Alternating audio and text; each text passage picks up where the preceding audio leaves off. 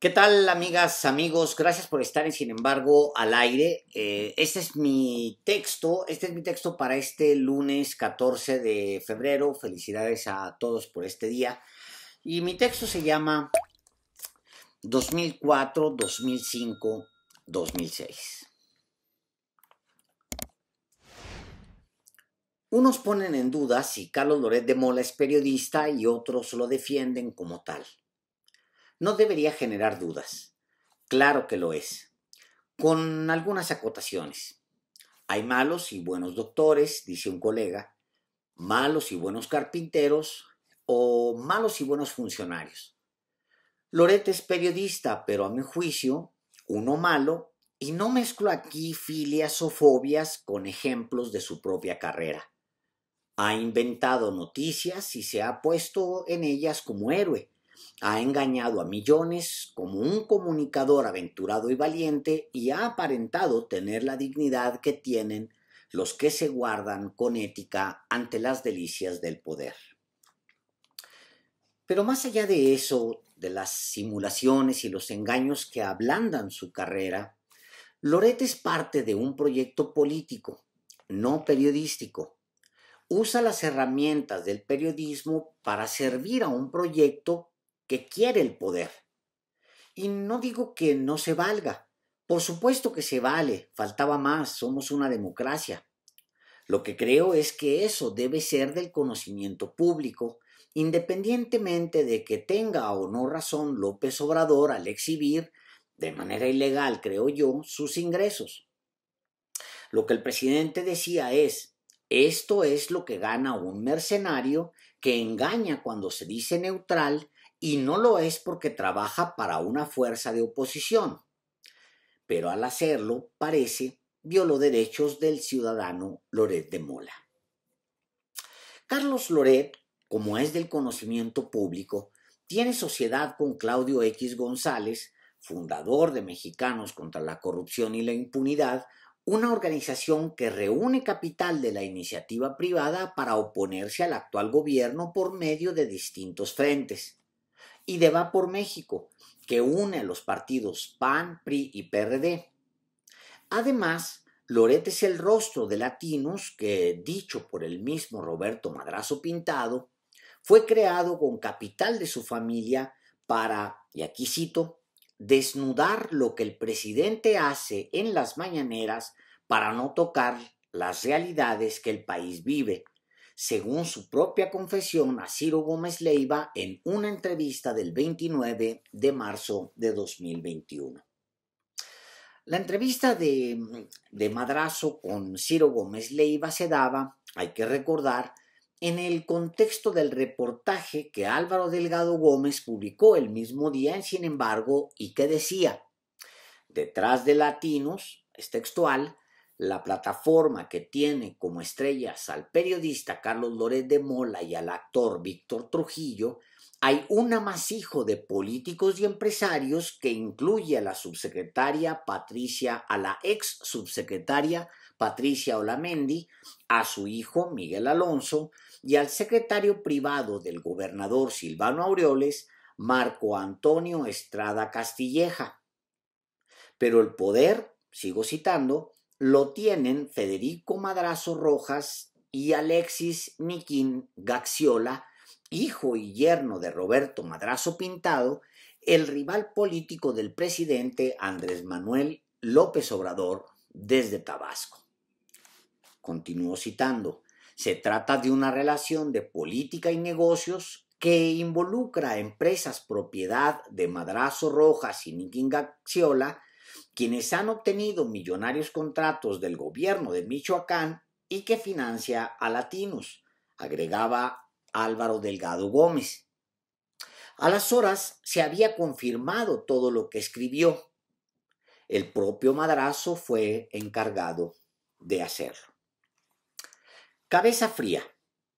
Quizás el presidente vulneró al ciudadano al exponer sus datos personales, aunque dijo Loret inflados. Eso debería aclararlo rápido el Instituto Nacional de Transparencia, Acceso a la Información y Protección de Datos Personales y, si impone sanciones, en mi opinión, muchísimo mejor. Pero el presidente no se equivocaba al decir que, al decir que Loret es parte de un proyecto político que es opositor a su gobierno y que aspira a retomar el poder en 2024. En ese proyecto hay intereses patronales y o empresariales de un multimillonario, Claudio X González, de los partidos políticos PRI, PAN y PRD. ¿Y se vale? Claro que se vale.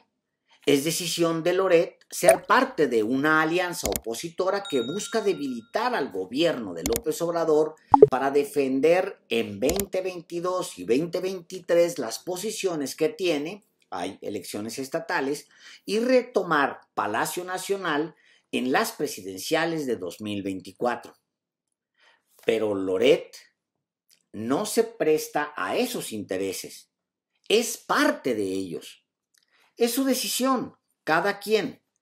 Lo que no se vale es que el mismo Loret intente ocultar sus intereses políticos válidos, legales, erigiéndose como un periodista sin, sin, más ánimo que la verdad, cuando eso, la búsqueda de la verdad, no ha sido necesariamente la prioridad de su carrera como periodista. Lo que no me parece sabio del presidente es que exhibiera los datos del periodista para establecer un punto, que gana mucho. ¿Eso qué? Que gane lo que quiera. Lo hacía porque quería sustentar otra idea, que es un mercenario y que cobra por todos los lados para apuntalar un proyecto político. Pues para eso no necesitaba arriesgarse a vulnerar la ley, todo el entorno de Loret explica, sin tener que victimizarlo, que sirve a un proyecto político. Lo que López Obrador exhibió en la mañana del viernes no fue a Loret, sino su propia molestia, su malestar, y esos arranques no le hacen bien. Y esto último no debería merecer una explicación muy amplia, pero sí la requiere, porque la memoria es flaca y porque muchos de nosotros no estábamos hace 13 años tan avivados como le están ahora. Vamos a 2004, hace 13 años, el 3 de marzo de 2004. Fíjese cómo los nombres y las situaciones se reciclan.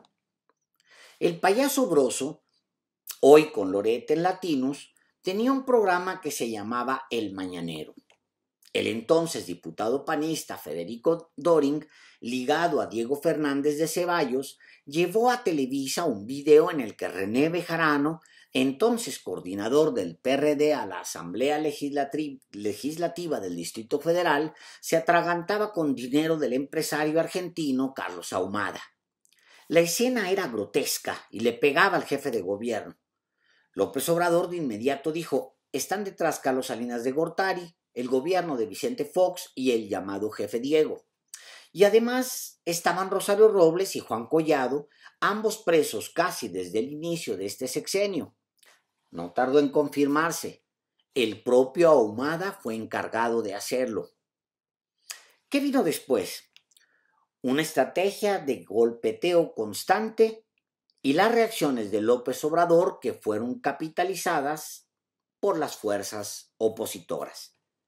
Eran entonces las mismas élites que apuntalan hoy a Loret, una cúpula de empresarios, los intelectuales, los partidos PRI PAN, sus cabezas, Vicente Fox, Felipe Calderón, Diego Fernández, etc. ¿Cuál fue su estrategia? Hacer que López Obrador reaccionara en público, enojado, usar esas reacciones para acusarlo de autoritario y pendenciero incapaz de reconocer la ley y el derecho. Picarle la cresta, esperar a que reaccionara y luego usar sus propias reacciones para azotarlo. La noche del, del, viernes pasado las redes opositoras bailaban en una pata. Como de librito, López Obrador había reaccionado. Y el escándalo del hijo era poca cosa frente al nuevo escándalo. López, el dictador, había violado la ley, amenazado la libertad de expresión y atacado con ira a un honesto e inocente reportero de a pie. Abusón, inmundo o peores adjetivos. ¿Cómo se atreve? Además, lo hizo en medio del peor clima para la prensa, cuando periodistas son asesinados. Ya iban todos en una ola enorme, como la de 2004-2005. Me quedé de una pieza. Margarita Zavala, en un foro, hablando de libertad de expresión, sí, ella, y su esposo Felipe Calderón y Javier Lozano, los que urdieron el golpe contra Carmen Aristegui, entonan desde las mazmorras de la dictadura cantos a la libertad. Bueno, la cabeza de reforma el domingo. Suman ciudadanos reclamo de libertad. Jole, país más terrible. Semanas antes, un golpe militar de Estado. Y después, coros a la libertad de ciudadanos hasta altas horas de la madrugada. Y un clamor. Todos somos Loret. Reconozco que tienen razón. Todos ellos sí son Loret. Yo como periodista no soy Loret y como ciudadano tampoco, porque no soy simpatizante de esa ensalada de intereses políticos. Pero aceptemos, la jugada fue maestra y para desgracia del presidente, él cumplió su parte.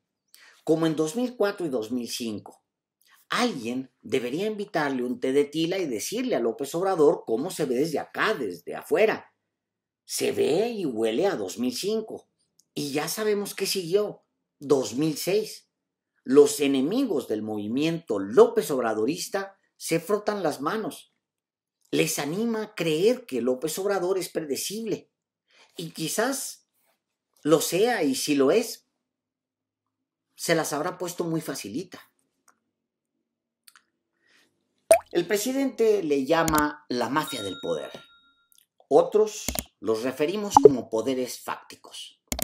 Ambas definiciones son correctas y se refieren a los poderes que existían antes de que él, López Obrador, llegara a la presidencia y movían los hilos del país.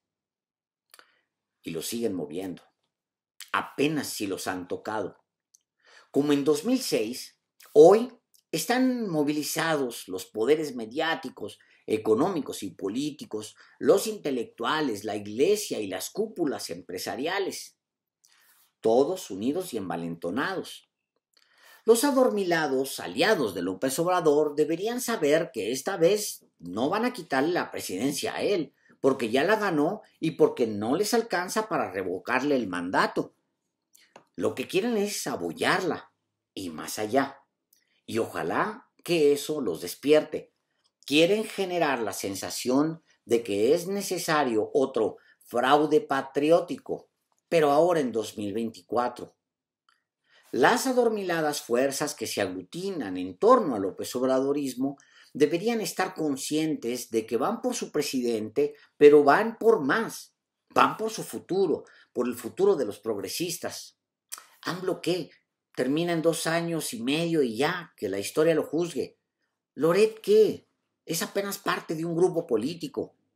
Y ese grupo espera las reacciones a modo y se alimenta de ellas y vaya que sabe cómo utilizarlas. El debate sobre la vulneración de los datos personales de Carlos Loret de Mola como ciudadano debería resolverse pronto y no por parte del gobierno, sino desde el INAI o desde cualquier otra instancia. Lo mismo las fiscalías y las entidades correspondientes deberían investigar a fondo todo aquello que podría vincular a la familia de López Obrador con supuestos conflictos de interés o supuesto enriquecimiento. Por salud de su proyecto y por salud de la República y más allá, para no permitir que esos posibles casos estén en duda. Llevo tres semanas escribiendo que el presidente no está bien cuando usa la tribuna para acusar a periodistas justo cuando matan a periodistas. Y parece que hace lo, lo hace todavía más a propósito. Sas, sas. Ahora voy a decir que no está bien que reaccione como picado de la cresta. Sus opositores obtienen exactamente lo que quieren de él cuando lo hace. Como dije, me recuerda 2004 y 2005, y de aquellas experiencias debieron aprender él y su entorno. Los poderes fácticos trabajan unidos y se han envalentonado, y traen las mismas banderas. A ese dictador hay que pararlo. Me siento caminando los días del 2006. ¿Qué cosa? Y ya sabemos lo que vino en ese año. Muchas gracias.